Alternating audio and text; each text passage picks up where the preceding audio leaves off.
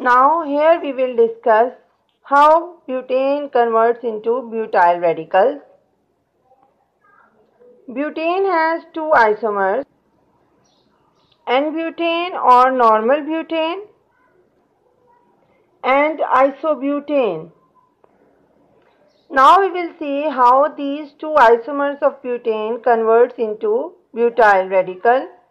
In case of N-butane, we have two types of hydrogen atoms.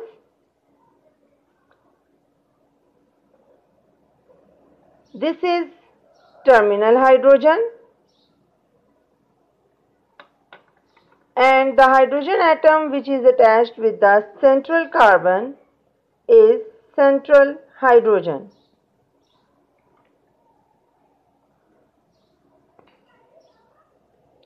Now when terminal hydrogen of butane removes normal butane, it converts into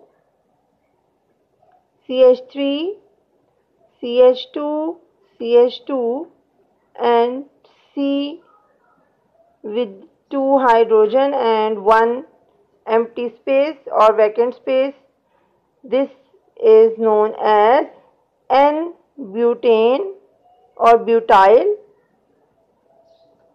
as it is formed from the N-butane normal butane. By the removal of terminal hydrogen, the structure form is normal butyl. Whereas when the central hydrogen of normal butane removes,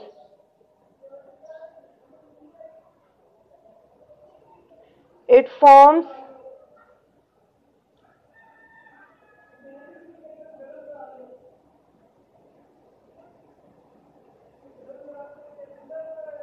this structure in which second carbon is having empty space or vacant space.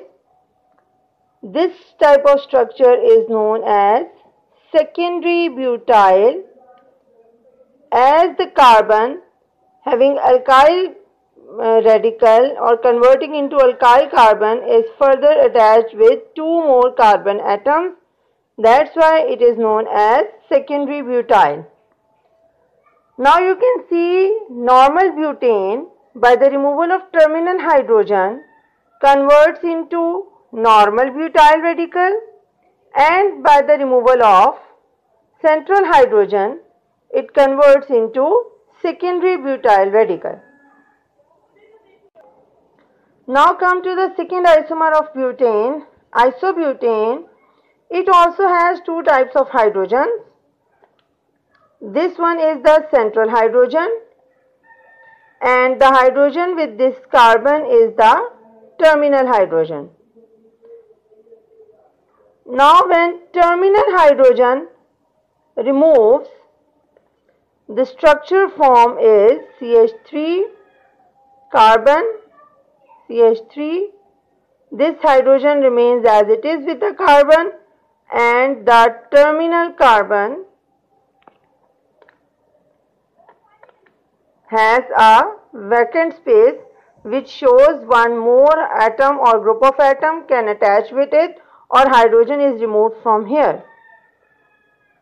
So this type of structure is the isobutyl structure as iso group is attached with it and total 4 carbons are present. Whereas when the central hydrogen of isobutane is removed, it converts into CH3, C,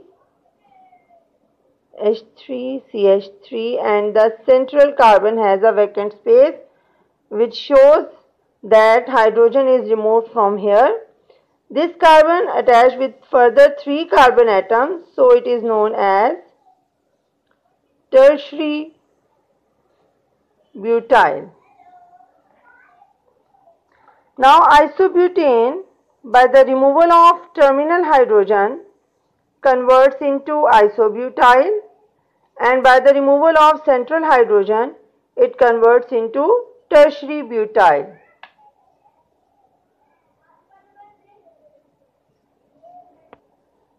As the number of carbon atoms of alkane increases, its isomers also increases and hence we can form more alkyl radicals from the same compound of having same molecular formula.